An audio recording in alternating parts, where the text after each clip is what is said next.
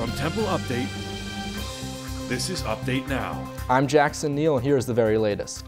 The Supreme Court is hearing arguments Tuesday on President Donald Trump's bid to end the Deferred Action for Childhood Arrivals program.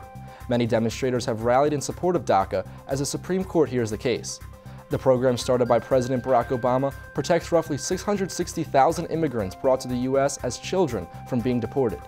President Trump has been working since 2017 to end these protections, but up until now, his efforts have been stalled by lower federal courts. Israel has targeted two senior commanders from the Palestinian militant group Islamic Jihad, killing one in the Gaza Strip and missing the other in Syria.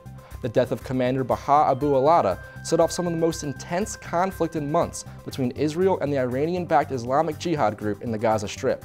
This is the latest step in a battle between Israel and Iran and its proxies throughout the region.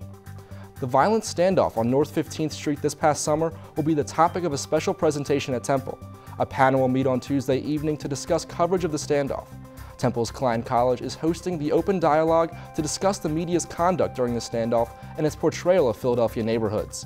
And in weather, Wednesday will be sunny with a high of 35, Thursday will be sunny with a high of 45, and Friday the sun will continue with a high of 51. That's all for Update Now. For the very latest, be sure to check us out on TempleUpdate.com or search for us on Instagram, Facebook, YouTube, and Twitter.